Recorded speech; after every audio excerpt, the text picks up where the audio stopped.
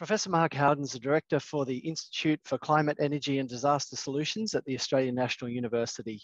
He's also an honorary professor at Melbourne University, a vice chair of the Intergovernmental Panel on Climate Change, and is the chair of the ACT Climate Change Council. He was on the US Federal Advisory Committee for the third National Climate Assessment, was a member of the National the Australian National Climate Science Advisory Committee and contributes to several national major national and international science and political advisory bodies.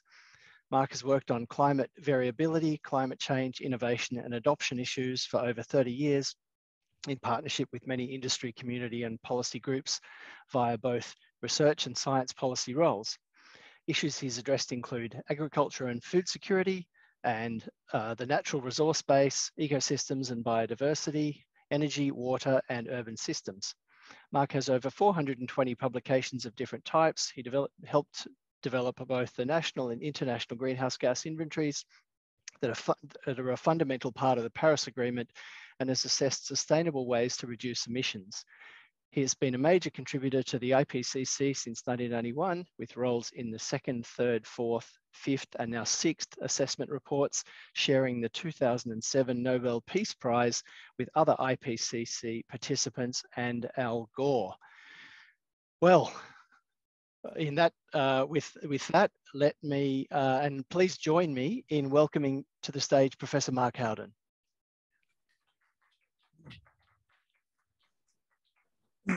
Uh, th thanks, Chris, for that introduction. and also thanks to the organisers for the opportunity to be here today.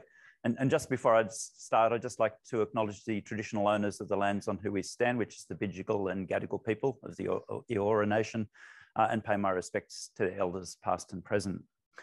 So what I'm just going to cover here is, is largely just a bit of uh, an update on the recent climate science, particularly relating to the IPCC Working Group 1 report, which was released in August, uh, and then sort of linking it into some issues relating to uh, energy and energy transitions here in Australia. And, uh, and so it's drawing on the work of many people uh, in this presentation. The, the, first thing I, I guess I'd focus on is that in spite of all the rhetoric about reducing greenhouse gas emissions, we're not. So this is uh, a graph of carbon dioxide emissions, which is the single biggest uh, human uh, greenhouse gas. Uh, and we can see that that's going up. This is actually the a graph of the fossil fuel and cement manufacturing type emissions. There's also another about six gigatons of emissions coming from uh, land clearing, similar sort of sources.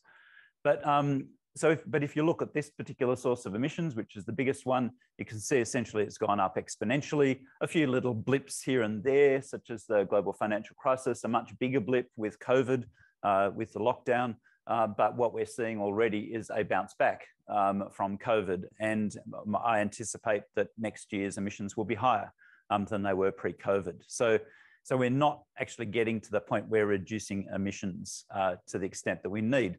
And the extent that we need is dramatic. We have to go from up here on this, whoops, uh, um, up here on this graph um, and down, uh, not just, it's not about leveling it off. So leveling carbon dioxide emissions off does not solve climate change, is that um, what we have to do is take it down to zero, which means we have to go from here right down to pretty much on the floor on this graph and really, really big changes. So if we think that we had a lot of change with the, with the COVID period where we had lockdown and reduction in tra travel, that's a very, very small part of what we need to do over the next decades.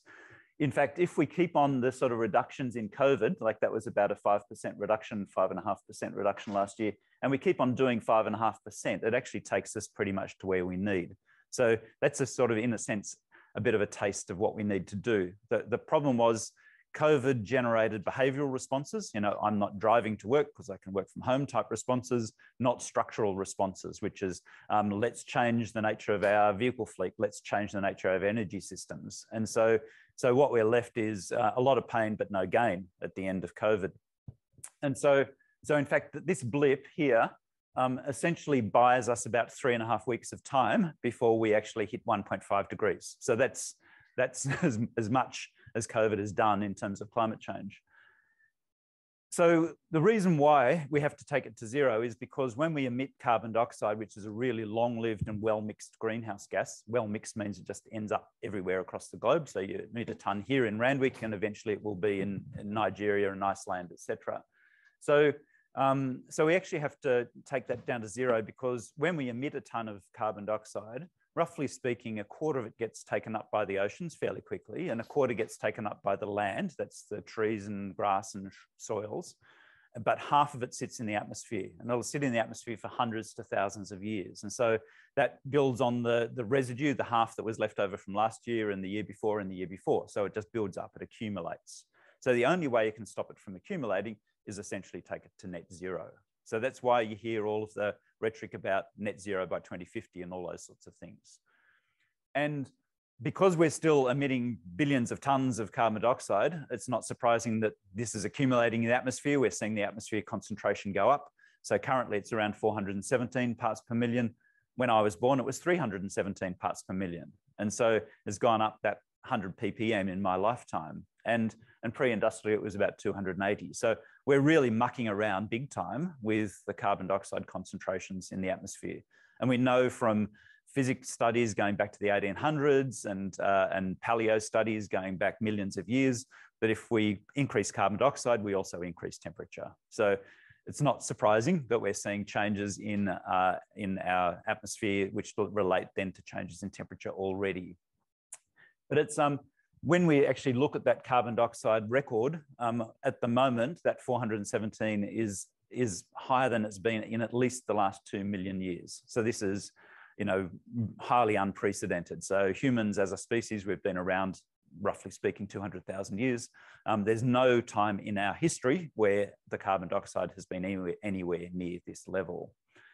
And that's um, and it's not just carbon dioxide, but it's also methane and nitrous oxide and various other things that we muck around with um, and produce lots of through gas extraction and various other things. So because we know that um, those carbon dioxide and methane levels are, are, greenhouse gases, they keep temperature in, heat in that otherwise would escape out to space. So that was worked out in the 1800s. It's not new science. Um, it's not surprising we're seeing the temperature go up. So this is global temperatures across the globe from the, the, again, that IPCC report.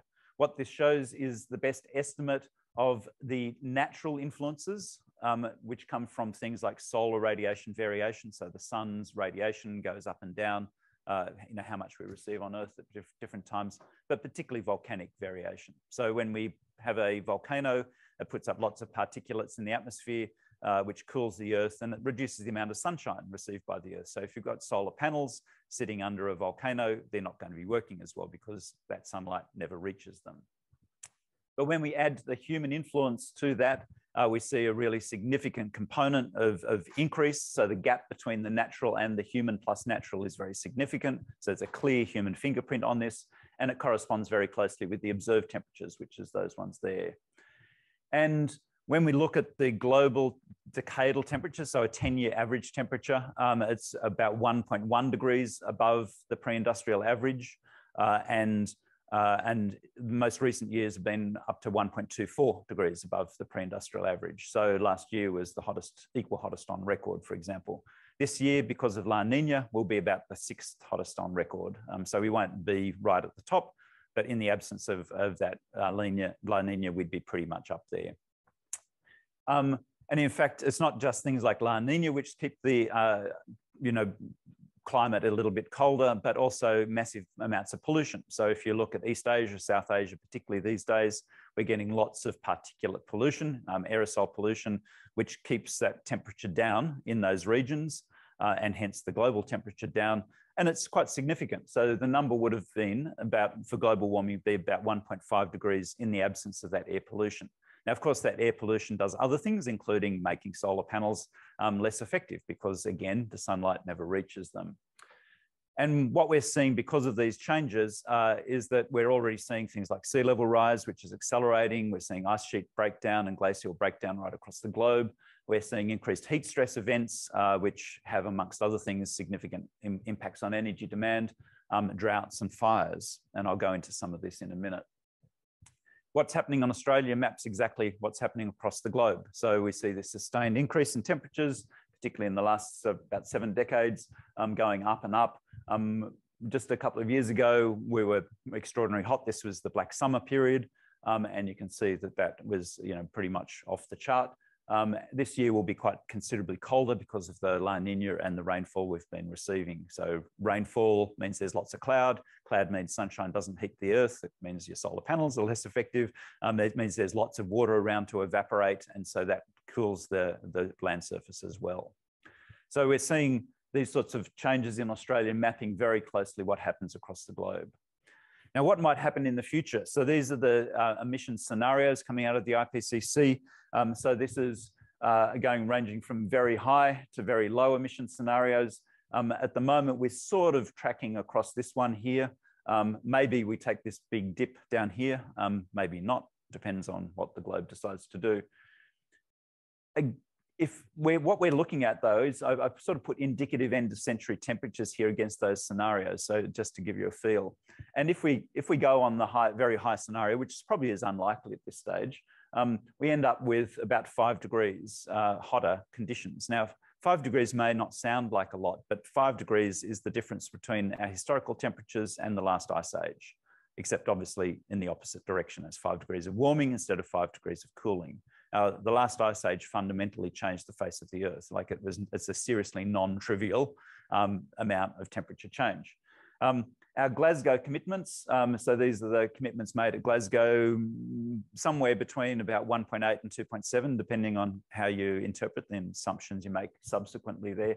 But three, three degrees, which may sound better, is still two thirds of an ice age worth of temperature. So, you know, it's, it's, not, it's not a good thing to be aiming for if we actually want to meet the Paris Agreement goals, which is temperatures somewhere between 1.5 and 2 degrees, we got to go on either the low or very low emission scenarios, which means taking things down to net zero by about 2050 for the very low and 2070 for the low scenario. So there's um, 1.5 degrees is consistent with taking to net zero roughly by 2050. Really importantly, um, you, we then have to actually go below zero. So to keep temperatures down, it's not just hitting net zero, that's only half the story. We then have to go below zero. And we have to go below zero in a way um, that stores carbon dioxide, takes it out of the atmosphere and stores it somewhere safe. And that takes a lot of energy. And that energy can't, by definition, come from fossil fuels. It has to come from renewable resources. So if you look at this graph, this gap here is a massive opportunity for renewables and particularly for solar. And so this is one of the messages that the public never sees. You know that you know you hear about net zero as though net zero is the goal, it's the end point, and it's absolutely wrong. Net zero is a waypoint. It's part of the journey. It's not the end of the journey, and I think that journey has massive opportunities um, for renewables. What does this mean in terms of temperature? Because that graph was in terms of uh, emissions. Um, this is exactly the same scenarios. Um, it's going from the very low to the very high but in terms of temperature over time. And for, for those emission scenarios, including the one we seem to be on, uh, that all of them take us above 1.5 degrees by the 2030s, and the high emission scenarios take us to over 1.5 degrees before the 2030s. So it could actually happen this decade. Um, and so the good news coming out of this, though, is if we do stick to the very low emission scenarios, which means massive decarbonisation of our systems, we can very gradually start, we can limit climate change to 1.5 and then start bringing it back. So there's a very, very slight decline sitting in that part of that scenario. It's not huge, but it's there. And so, so the hope here is if we stick to that really very low scenario, um, that we can actually turn around climate change. Not all of its impacts, but at least the temperature side of it. And to do that, we have to um, decarbonize at a huge rate. So this is what we call the carbon budget. So a carbon budget is like any other budget. If you've got a certain amount of money, you can spend it in different ways. You can spend, you know, if you've got a weekly budget, you can spend it quickly and then run out of money halfway through the week and then starve for the rest of the week. Or you can spend it sort of steadily through the week and you can actually survive. And the carbon budget is exactly the same. So what this is, is essentially the amount of carbon dioxide we can produce and still stay be consistent with either 1.5 degrees or 2 degrees. So, and, and this is to give different probabilities. So it's a probability distribution. It's not a number. Um, but if we want a two thirds chance of sticking to 1.5 degrees, we can only emit, roughly speaking, 400 gigatons more of carbon dioxide. Now, the problem is we're already emitting um, something like uh, 42 gigatons of carbon dioxide each year. And so if you do the simple maths, you know, that tells us roughly speaking, we've got 10 years at current rates of emissions before we've completely blown that budget that's consistent with 1.5 degrees. So that's where one of the threads of argument where that 10 years comes from, you know, that you hear in the media that, you know, we've only, you know, this is the critical decade. And the only way we can meet that budget is starting to push down our, our carbon dioxide emissions, particularly from energy, um, and do that really quickly uh, if we're to keep within that uh, emissions budget. And at the moment, we're not doing that, as I showed you in that first slide. So what does this mean in terms of temperature and rainfall and similar things across the globe? So, uh, so if we look at temperature, um, so um, this, is, this is what the world would look like, or a scenario of, of, four degrees.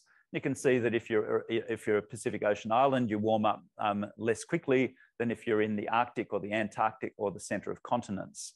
And the areas around the edges of continents against the coast warm up um, uh, more slowly than in the center, center of the continent. So there's a temperature gradient across that. Um, there's also changes in rainfall, which I won't go into in great detail, except basically to say that, particularly in the southern part of Australia, we're likely to have lower rainfall, um, possible increases in the north and northwest, um, but it's, uh, it's uncertain there. Now, these, these changes will actually affect energy supply and transmission, and they'll affect energy demand, they'll affect uh, the way in which we adapt our systems. And I'll just go into that briefly here. So, so if we actually look at energy supply, so this is the ability of our, our systems to actually push energy into our electricity system in this case, that clearly in a drying climate, um, which we have already in Southern Australia and which is projected to get worse, we're going to have less hydropower. So, which is actually a significant part of our energy mix here in Australia. And and similarly, if we're relying on pumped hydro, uh, it increases the losses from pumped hydro. So if you've got water sitting in dams, you increase that loss, um, your daily evaporation rate. So on a hot day, you can lose about 10 millimeters of water from a, a dam. Um, so, so you can lose a lot from the dams. So it's not just a recirculating thing, you have to top those things up and you'll have to top it up more frequently as you get hotter. Um, our coal and gas uh, power stations, which we currently sort of rely on, um, uh, are going to be derated, so they produce, they're less efficient under hot conditions, um, and we have outages increase, so their reliability reduces, and their availability of water for cooling decreases in a drying climate. So coal-fired power will become more problematic, um, it, you know, in spite of everything else, but just because of climate change, it's going to become more problematic. If you look at solar PV, um, as you'd know, there's uh, the temperature coefficients of solar panels means that a solar panel that's hot is less efficient than one which is cooler. And under hotter climates, we're going to lose some of that um, potential energy. So there was a recent study here in Australia which looked at what that might mean. Um, and we can see that uh, depending on uh, you know, this is the sort of historical baseline type uh, um, potential, and then changes in the near future and the further, you know, several decades out. And you can see by and large across Australia anticipated reductions in uh, solar PV um, uh, potential across Australia. This is in part due to reduced solar radiation in some places and at some times because that changes over time, um, but also because of uh, temperature effects on uh, cell efficiencies. So um, our PV um, will be affected by climate change itself, um, assuming our current sort of technologies which have significant temperature coefficients. So if we're also looking at temperatures um, and uh, there's significant losses uh, which increase uh, as temperature goes up in our transmission lines. And so, so if you have transmission lines which are above ground, um, they heat up a lot more and we have significant losses in, in the up to several percent uh, on hot days, and that's projected to increase. So if you've got a, a bunch of solar panels um, sitting out in the middle of the Northern Territory or out in Western New South Wales with long transmission lines, climate change is actually going to reduce the efficiency of that transmission to where the power is used. Um, if we look at uh, severe weather, which is already increasing and likely to increase more under climate change, so you know this is the um, the uh, picture from that event, which uh, you know, blew down the connector to South Australia some years ago. and caused a lot of political uproar, um, that's likely to increase. So our disruptions across our transmission lines are likely to increase due to higher top wind speeds um, and more storminess. Um, we're likely to see also increased fire risk, and this is already happening. So that's that sort of picture there. And this is a really big issue in some places like California, where um, PG&E uh, essentially went bankrupt because of the threats of fire in California. And uh, associated with their power transmission. So they're looking to put, I think it's 10,000 miles in their terms of, um, of cables, of transmission cables underground to stop this, you know, massive expense. But that's the value proposition of avoiding that increased fire risk. And we see that um, very recent study, Pep Canadell and others um, did, which looked at uh, fire risk in Australia. So this is how it's already changing. Um, and we can see that historically, uh, our fire risk, this is the area burnt. Um, if you look at the summer period, traditionally our, our um, fire risk period in Australia it's essentially going up linear with 2019, uh, 20, um, you know, pretty much off the chart. Um, if we look at the cool season, so the out of season fire risk, um, that's the autumn and winter period, where historically very few fires have occurred and not very significant ones. And we can see that's essentially going up exponentially. So um, summer fires increasing sort of roughly linearly, but, uh, but those cool season fires increasing exponentially. So we're actually entering into a period where for a lot of Southern Australia, fire risk is not a season, it's a year. it happens at any time of the year. and we can see that there's been really significant changes already in terms of fire risk um, in this map. If we look at the demand side, uh, which is also um, critical and impacts on uh, sort of demand for PV, um, is uh, what we see is the demand for energy, generally speaking, is likely to increase. Uh, so as we electrify everything, the demand for energy um, is going to increase. So, and you'd know that well. Um, and uh, but there's also an interplay with the different emission scenarios. So the faster we um, sort of uh, you know decarbonize, um, the more, in a sense, the more electricity we're going to have to produce. If we look at things like um, air conditioner penetration, uh, what we see across the globe is this becoming more and more important. So essentially, people in hot climates or even hot climates for part of the year, if they can afford air conditioners, they will buy air conditioners. It's, it's becoming a, a, normal part of, of sort of human comfort. And you can see in various places that, that penetration, which is essentially now 100% in many places.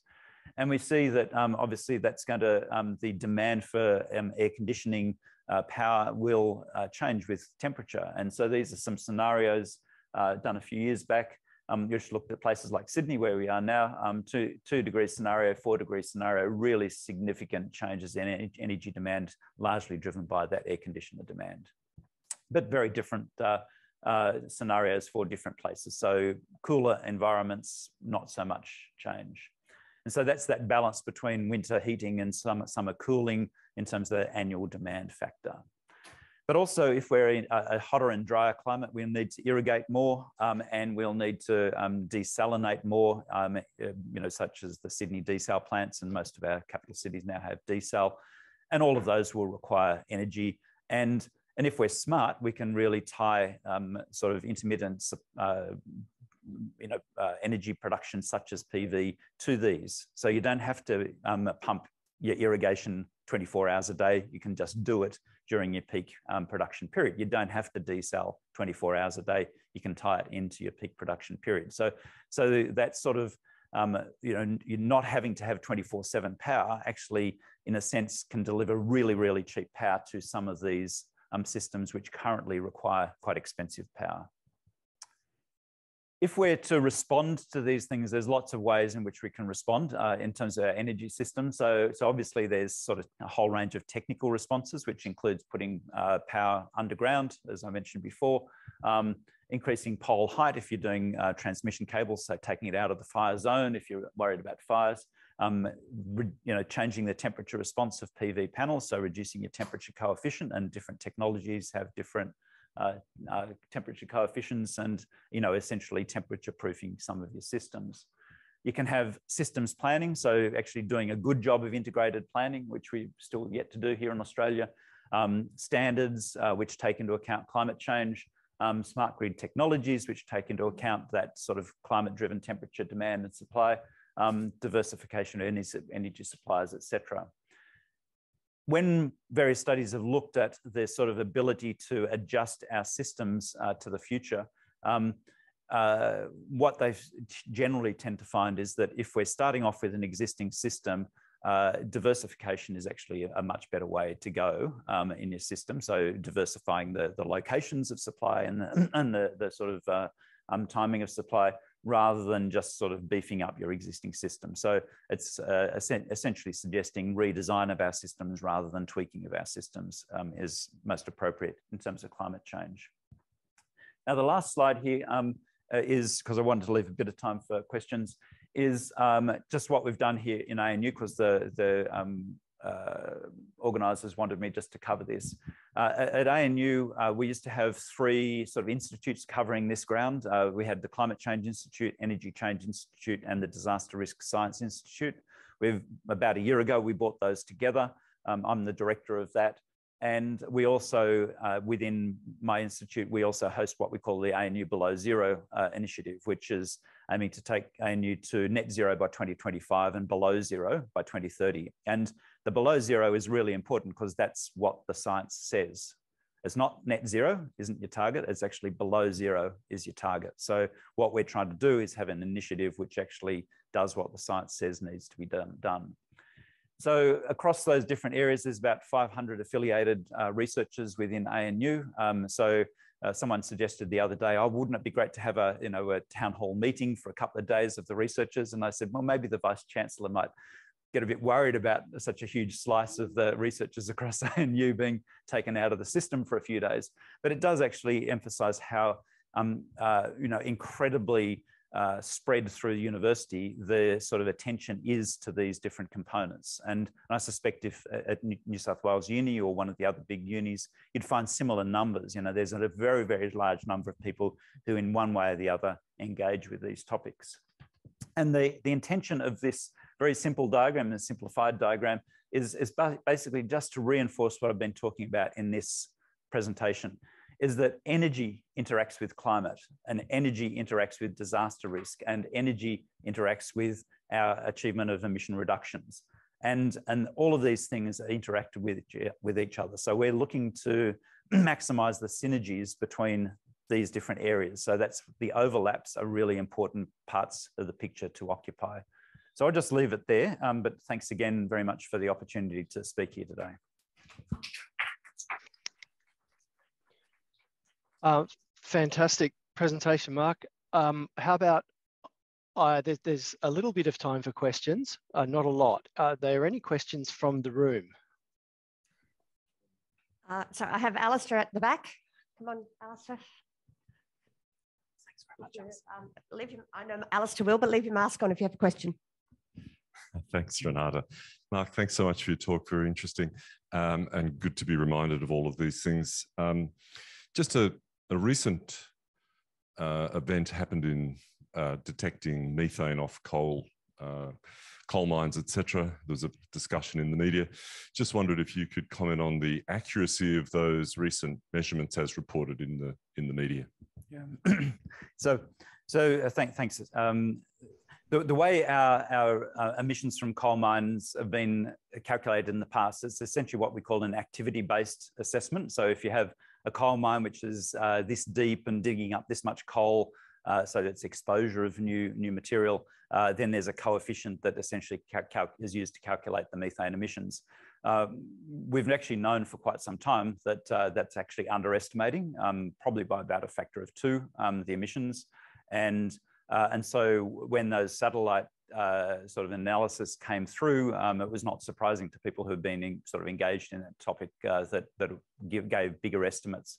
The, the, the, challenge here is to sort of integrate um, that, that satellite measurements with those, uh, the activity-based inventory approach um, so that we actually get better um, estimates, which are temporally um, and spatially diverse. So, so you can have coal mines uh, um, you know, relatively adjacent to each other, which have actually quite different amounts of methane being produced um, deep mines tend to produce a lot more than shallower mines, etc. So, so we need the sort of that granularity to get best better estimates. Uh, I have one question, if I may. Okay. Um, Yep. You talked about the the um, the possibility of using excess solar for desalination, or you know, I can imagine for carbon capture. Um, do you know if anybody's ever done a study of capital efficiency? Because a lot of this plant you can't have sitting around for, you know, 15 hours waiting for the sun. Well, you can, but the, the- cost of capital, you know, um, under, undermines the economics of doing it. Do you know if anybody's ever studied that? Uh, not so much for sort of irrigation or desal, um, but in other areas, people have certainly looked at that and uh, and assessed uh, whether whether in fact your curtailment sort of price uh, prices, uh, um, you know, do generate um, efficiencies which are. Um, you know, sufficient to offset that, you know, part-time Yeah. use of, of capital. Yeah. Um, and, and oftentimes the answer is it's a bit marginal. Mhm. Um, one of the challenges, of course, is that uh, that um, that that curtailment, in a sense, is, is going to grow as as our, as our proportion of solar PV grows. Um, but also the opportunities to use that, I think, will grow significantly as well. So um, so if we go, you know, pumped hydro with you know snowy hydro, then you know there's an opportunity to use a, a lot of, of that extra um, Mm. energy at times. Um, I I actually think it's it's a it's a, a massive opportunity for Australia to think how to effectively use um, uh, that energy which otherwise would be curtailed. And um, just, just to throw this back at you is that one of the questions is um, for me is if you do curtail uh, solar PV, say from household uh, um, roofs, does that then um, increase your roof temperature um, uh, and then uh, increase uh, your your air conditioning um, load? And and so there Alistair knows the answer. back there. Have we got time for an answer to that one, Chris? Uh, will quick if it's quick. It's Alistair. Yeah. Alistair, be I quick. could be quick. Um, one degree temperature rise if you curtail the uh, panels, and if your roof is insulated, it should have minimal impact on your air conditioning. Excellent. Okay, So- thank you. So there you go. So, so it's a pretty minor thing, but those those those are the sorts of things you need to actually have some information on, and um, and so so you can actually communicate that. Um, i- ideally, what we'd actually be moving is to is housing stock, which is essentially passive housing stock, which is actually isolated um, from from your environment, and your your demand for energy goes down tremendously, uh, both in summer and in winter. Uh, and your your air quality will increase, particularly in periods of high fire. So we need to that, that's just an example of how we need to think about this in a much more integrated way. It's not just about energy system, it's about our whole of our system and understanding where really positive leverage points are. All right, so that was a, a terrific presentation, Professor Howden. Uh, there are a couple of questions online that I'm not going to go to just in the interest of time. That just goes to show the advantage of actually being there in person. uh, And I'm sure that the people in the room will be uh, pestering Mark at the at the coffee break. But it's time we should, well, well let's, let's join me in thanking Professor Howden for a fantastic presentation.